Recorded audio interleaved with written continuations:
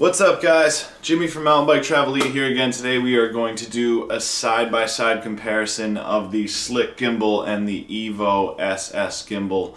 Both of these are chest mounted gimbals. Uh, we're here in my mountain bike cubby in my apartment in Boston. We're just going to do a side-by-side -side review out of the box, some pointers, some positives, some negatives, and then down the road I'll be making another video of a comparison out there in the field. So let's get to it. Alright guys, so first things first, we're just going to take a look at what comes with each of the gimbals. You have the Evo S here. Uh, the Evo S is a little more of a complicated setup when you take it out of the box. Comes with this monopod tripod here, which actually expands all the way out. You can do some extreme selfies with that bad boy. Comes with a couple connector cables. These will connect your GoPro to the gimbal itself. You can charge your GoPro there. A couple of these screws here you have the gimbal itself, uh, a little sticky pad. You have the chargers here. Comes with four of these 3.7 volt lithium batteries.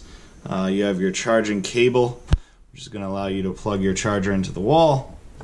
You have this little mount here, which actually goes into a tripod mount on the gimbal itself, and that allows you to attach to your GoPro accessories. Really nice to have that little tripod attachment there if you want to attach that way. And then you have this sweet little carrying pouch. So that's all nice, good little setup, kind of confusing at first, but once you get the hang of it, you're good.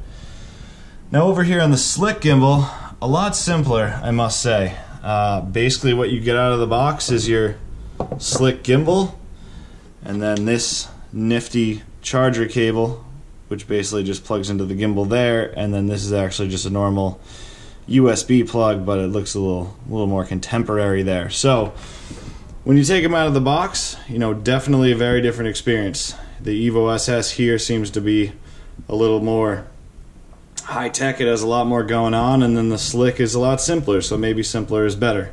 But let's see what else they got to compare. So, first things first, let's just talk cash money. The Evo gimbal uh, is $279 with the soft carrying case included. The slick gimbal is $299, but if you want the carrying case, you can buy this nifty slick carrying case. Slides right in there, but this is an extra $34.99. So if you want the full packet, full package, and a nice case to carry it in, you're going to be looking at 350 bucks. So right off the bat, the Slick is a little more expensive, but let's just run through the basics. So first of all, let's just talk weight. The Evo gimbal is much smaller as you can see. The slick gimbal seems a lot larger and we'll definitely test that out on the chest mount in a minute here. But the Evo gimbal without the batteries is 180 grams while the slick gimbal is 350 grams. So right off the bat, the slick is a lot heavier for me, that's kind of a cautious note. It's going to be a little harder to keep it stable on the chest mount, but we'll get to that later. Now that being said, let's talk batteries. So the Evo gimbal has replaceable batteries. It comes with these four lithium batteries, two go in at a time. They say to run, you know, 4.5 to 5 hours on one set of batteries. And if you're connected to your GoPro and charging your GoPro at the same time, it's going to take an hour and a half to two and a half hours off your batteries. So let's say you're charging your GoPro the whole time. Basically, you're going to get about four hours of battery life out of that. But you can buy as many batteries as you want. Now, with the slick gimbal, there's actually no way to replace the battery in this. It's a single set battery, so basically they say you get three and a half to four hours. That's all you get unless you can jump off the trail and recharge it. So a big difference there, but both should work. Three to four hours is your average ride. Next up, we have the durability of the device itself. So the slick gimbal here is said to be rainproof and dustproof. So we're assuming that we can go out in this, we don't want to throw it into a pond, but we can ride in the rain, it's not going to seep into any of these joints. So I'm going to hold them to their word on that until I get out there and test it. The Evo gimbal, on the other hand, is not said to be rainproof or necessarily dustproof. I've heard they're extremely durable, but obviously you don't want to go out in a monsoon or again throw this one in the water. But major difference there, you know, it'd be really nice for this to be a bit more weatherproof, but you know, maybe the other qualities outweigh that.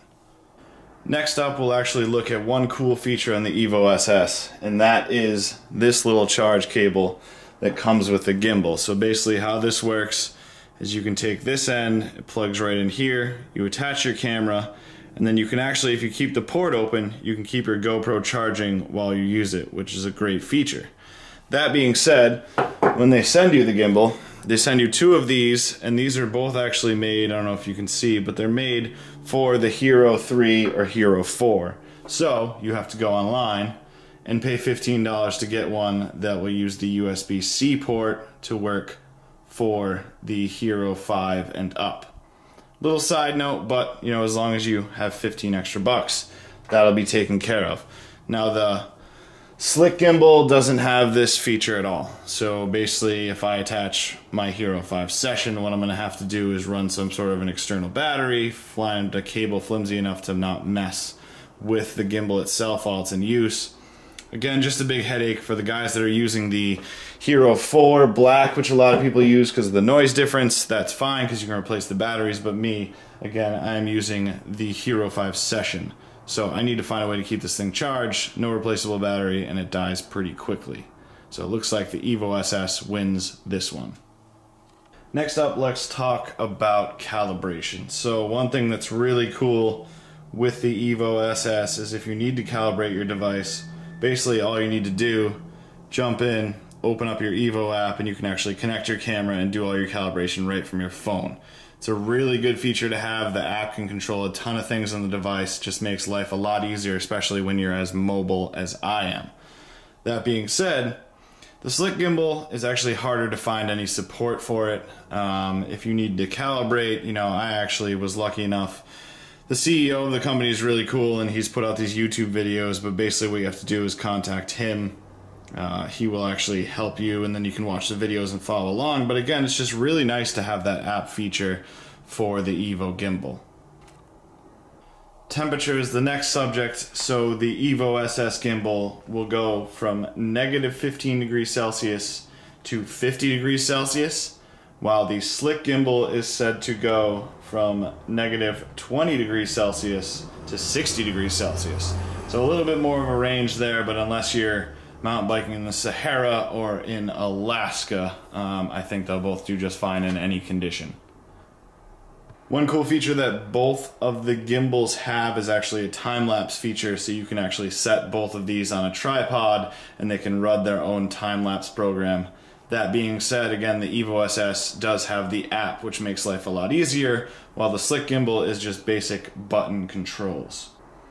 Now both of these gimbals also have multiple modes. So on each gimbal you can either do a pan mode or a pan and follow mode where the camera will actually move up and down or just maintain a level horizon. So very cool features on both. It's really good to have the flexibility to whether you know you're mountain biking like I usually am or someone who's surfing or anything else. So now let's connect our GoPro to our gimbal. We're to do the Evo SS first.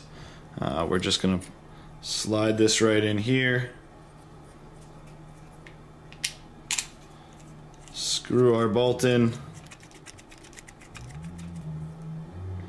Super easy.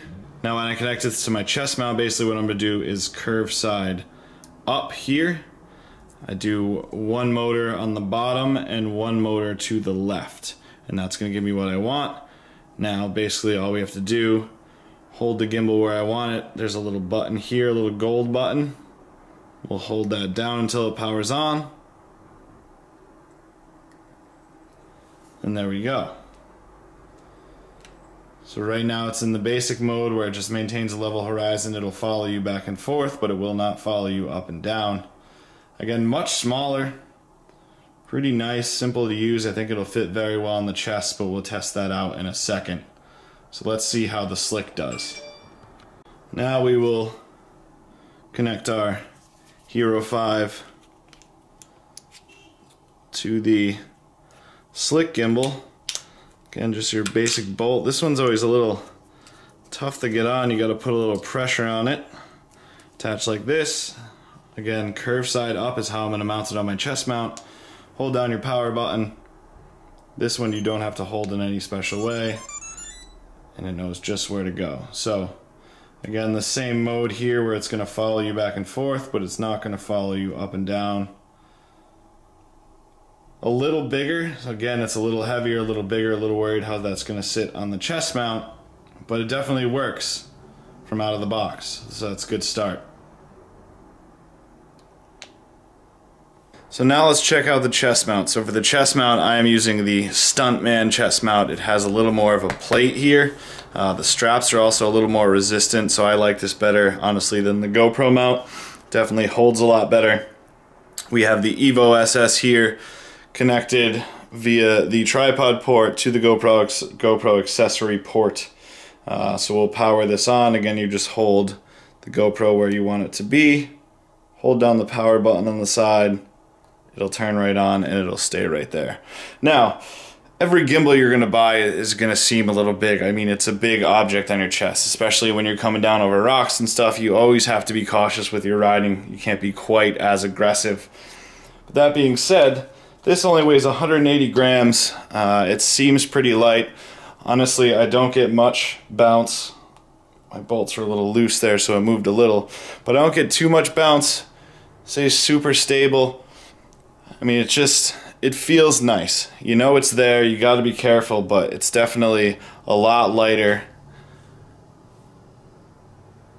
It's really just, seems like a really good setup. I've rode with this one time. It does work really well, but you know, we'll see how it does compared to the Slick. Slick gimbal, it's definitely a little different proportioning here. The cool thing about the Stuntman is that this piece here, you can actually take it, unscrew it, and you can kind of rotate these pivot points around. So what I'm going to do is with the Evo SS, I actually had this hanging down. It seemed a lot better to hang it lower. With the Slick, I think I'm going to try it up here. So it's going to be a higher mount since it has this whole battery pack that hangs down. Alright, so now we have the Slick gimbal mounted.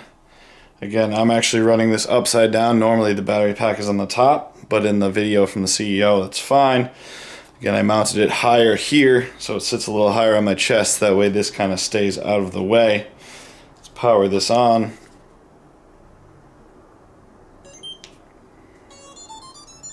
There we go. Don't have to hold anything, sets right into place. You have two different pan buttons.